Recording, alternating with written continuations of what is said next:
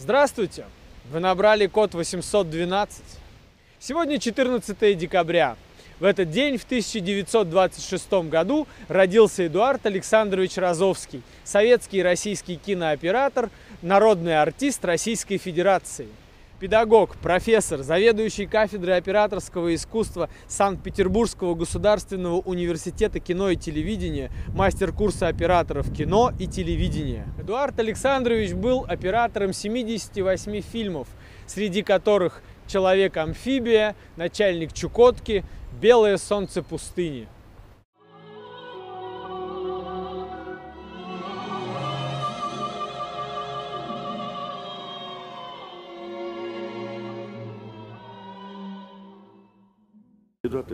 Да. дорогой, я подумал, что с момента выхода фильма «Человек-амфибия» прошло уже полвека.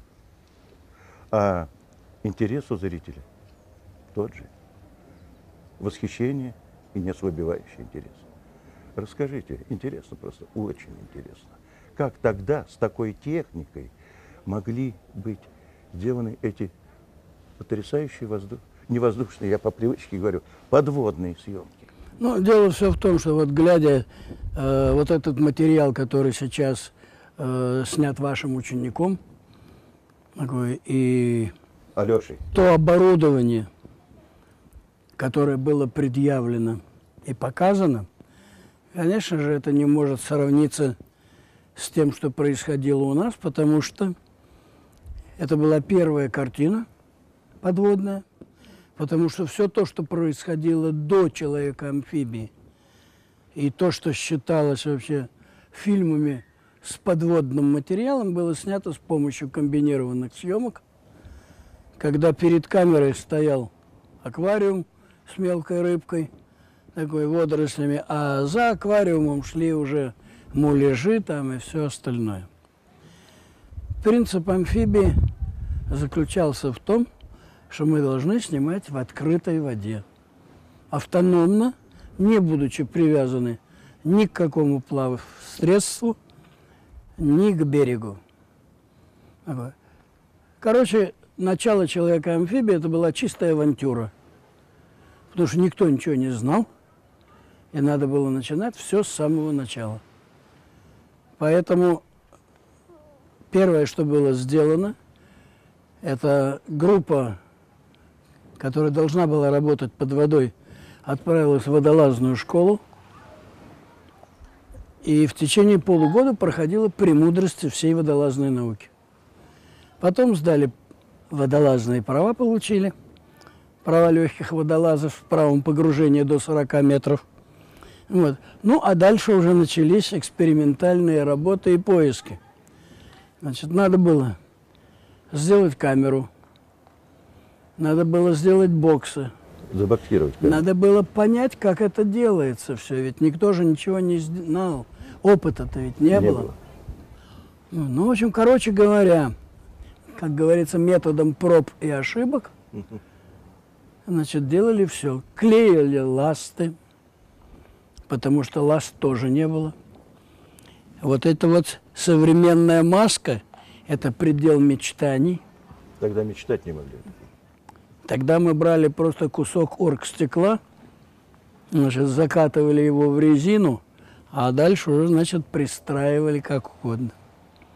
Короче говоря, опыта не было, но мы его постепенно наращивали и старались как-то прийти уже к нормальному результату, потому что от нас требовалось на подготовительном периоде показать какой-то эпизод из будущего фи- фильма. Часто задают вопрос. Ведь съемка шла не на видео, а на кинопленку. На 35-миллиметровую пленку, профессиональную пленку. Камеры ведь были большие, тяжелые. Я их хорошо помню и знаю. Какая камера боксировалась у вас? Конвас-автомат. Классический конус. Классический, классический конвас-автомат. Под него были сделаны боксы. Правда, э, у нас не было широкоугольной оптики в ту пору. Это беда. Вот, поэтому для того, чтобы получить нужный угол зрения достаточно широко. Вот. Э, Мы связались э, с институтом оптическим, Ленинградским. ленинградским.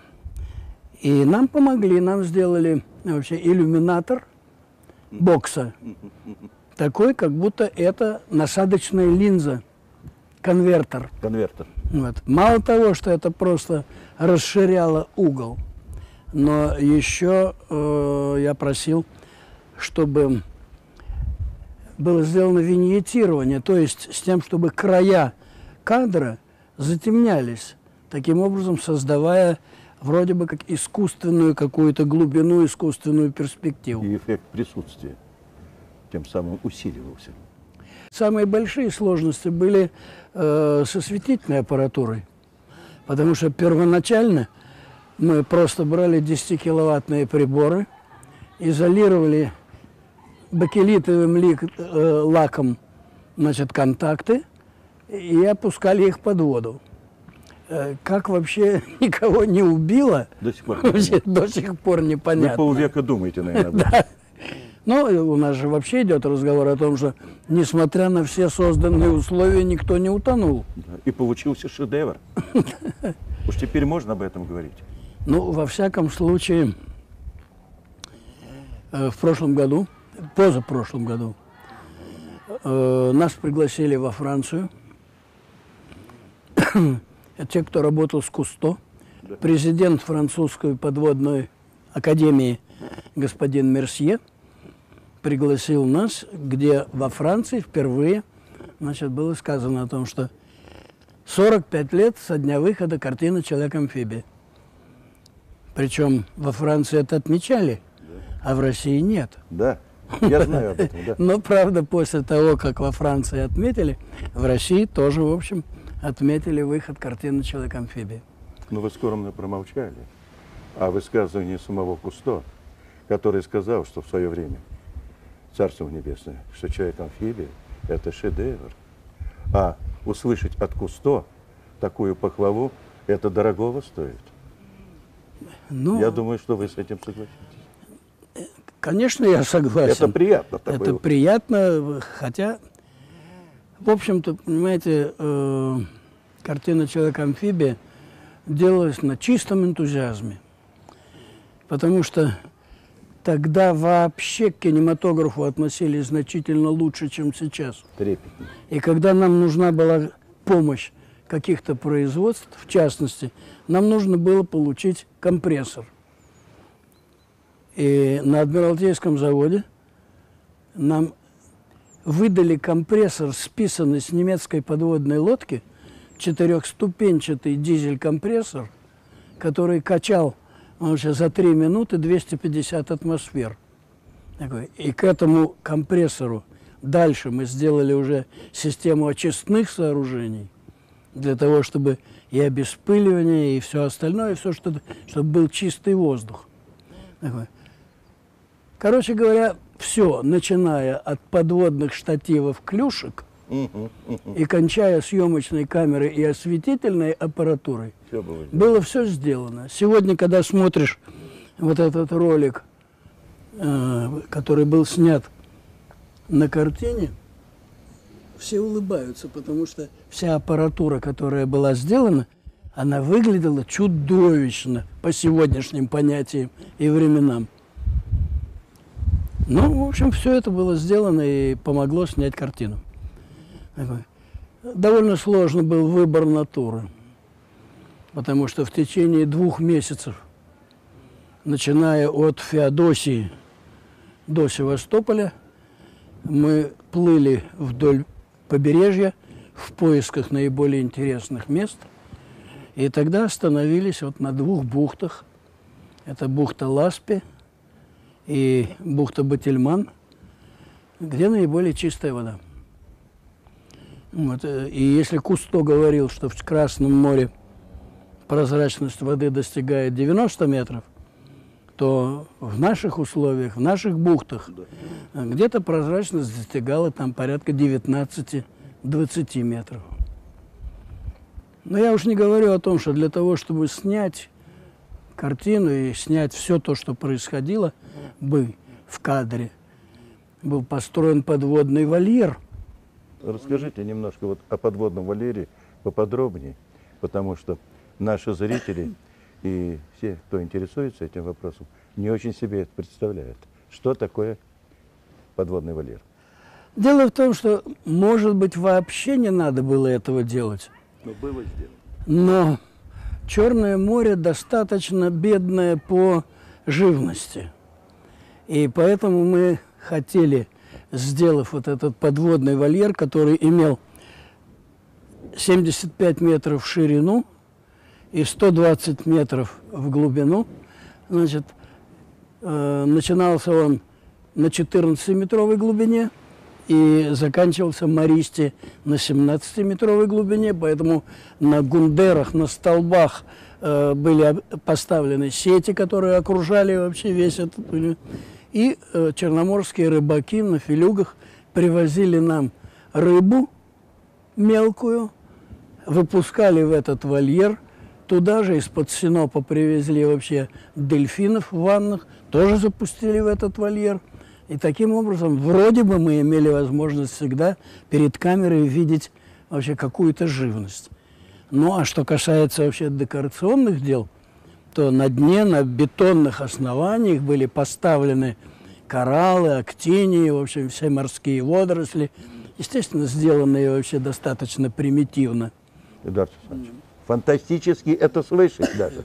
А представить, вообразить такое, даже в современных сегодняшних условиях, такое создать, не каждый продюсер бы пошел на это, я думаю, потому что грандиознейшая работа была проделана. Конечно. Надо объективно сказать, даже прошло 50 лет, но такое сооружение сделать под водой, грандиозный по своим масштабам, я думаю, сегодня вы задумались, прежде чем приступить. Да, в общем, я с вами совершенно согласен. Другое дело, что, может быть, сегодня я бы и не стал этого делать потому что, в конце концов, я придумал конструкцию. Ну, она напоминала такой раструб, такой сетчатые стенки. Передняя стенка была сделана из оргстекла. Значит, и вот этот вот раструб крепился непосредственно к объективу камеры, а внутри вот этого подводного аквариума запустили туда просто мелкую рыбку. Поэтому всегда, куда бы камера ни повернулась, у меня всегда перед объективом э, плавала какая-то живность. Вообще, таким образом можно было бы обойтись вообще без этого большого вольера. Ну что сделано, то сделано. Ну да, как говорят, хорошие мысля приходят опосля. Когда есть опыт и наработки, это уже сейчас кажется, что можно было. А тогда, когда сроки производственные, и надо было еще учитывать что вот-вот денежки идут, затраты идут, полезного метража нет, а начальство требует полезный метраж и высокохудожественное изображение, а оператор отвечает за все, и всем наплевать, потому что последний человек, который за изображение, и единственный всегда оператор, главный оператор-постановщик, а это был Розовский, молодой, горячий, который рвался в бой, как и сейчас. Так вот, в подтверждение того, что вы только что сказали, в связи с тем, что шли дожди, даже так. Вода становилась мутная, снимать было нельзя, поэтому, значит, группа стояла. Естественно, шел перерасход денег, которых было на картине очень мало. Кончилась вся история тем, что мне э, было вменено в вину перерасход средств в миллион рублей лично за мой счет. Я надеюсь, это не повлекло прямых, от, от, так сказать, затрат ваших. Я надеюсь, нашлись умные головы, которые поняли, что это. Ну да, нашлись. Меня исключили из партии. На этом все. Да, на этом все и закончилось. Нет, но дело не в этом. Дело не в этом. Потому что действительно никто не знал, что такое подводные съемки. И поэтому смета картины э, была рассчитана по самому минимальным расценкам. Ну, да. По самой простой картине. Не было элементарного опыта. Так никто ничего никто же не знал, знал. По каким ценам, какие расчеты вести, по затратам. по прямым затратам, по заказам. Там же было много индивидуальных заказов. Те же заводы, те же институты, те же лаборатории. Как же, это же невероятно.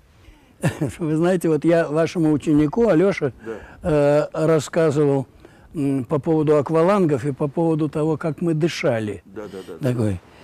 В связи, Это с тем, в связи с тем, что э, воздух надо было экономить, потому что мы не могли подвозить все время акваланги, э, и это очень нас сильно лимитировало.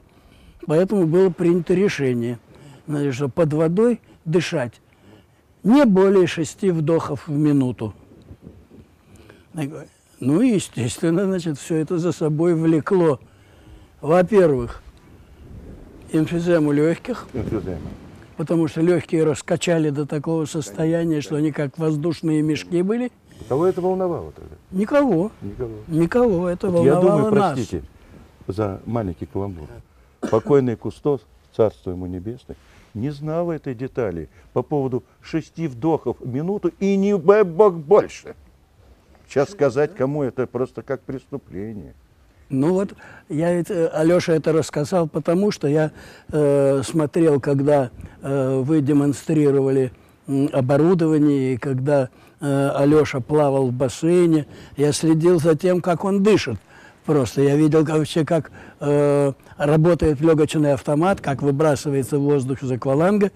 И после этого я ему сказал, Лешенька, нам-то дышать приходилось в три раза реже. Я говорю, ну ничего. Поэтому я всегда улыбаюсь, когда современные ребята, которые занимаются дайвингом, которые владеют, у них собственные эти потрясающие, дорогущие аппараты, когда они говорят, ты знаешь, дышалось тяжело, что-то мне не хватало. Я говорю, ребята, вам просто не хватает умения еще, опыта, а остальное у вас с избытком даже. Вам должно всего хватать. А все остальное, это вы придумаете, это плод вашей фантазии насчет не хватало. И знаете, такие идут, ну, штучки, как бы похвастать порой, как молодые любят. Вот у тебя американский акваланг, у тебя оборудование, трубки особые, какие-то марки, а у меня английские. Вот английские, они считаются, эта модель лучше, чем мои. Поэтому, конечно, тебе легче там было под водой. Ну, знаете, как А у, бывает. нас, э, а у нас воздушные трубки, то, что называется шнорхель, были значит, из противогаза. Без противогаза? Да, из противогаза шланги. Значит, и в эти шланги металлическую трубку в наконечник, значит, здесь закрепляли ее резинкой у виска для того, чтобы, Чтобы она торчала. торчала. Чтобы она торчала вертикально. Ну да. Чтобы вертикально. Это кошмар. Так что, Да, есть что вспомнить. Есть. Да хорошо, что вспоминается с улыбкой. конечно, Это хорошо. конечно. Спасибо. Спасибо, дорогой. Это так интересно. Спасибо вам. Спасибо вам. Я думаю, что мы на этой оптимистической ноте закончим, наверное, наш небольшой первый разговор. И хочу пожелать, Эдуард Александрович, чтобы он был не последний. Потому что еще много мыслей, еще много всяких интересных каких-то идей, которые бы хотелось с вами оговорить, обсудить. И, может быть, еще Бог даст, наши ученики э, это будут притворять в жизнь. Поэтому спасибо вам еще раз Дай от нашего коллектива. Я думаю, мы и операторы, и коллектив, и все, те, кто за- захотел это все сделать, устроить и помогли нам, они будут ждать следующей встречи. Спасибо. Так что до новых встреч. Я с вами не прощаюсь. Спасибо большое. Спасибо вам. Удачи.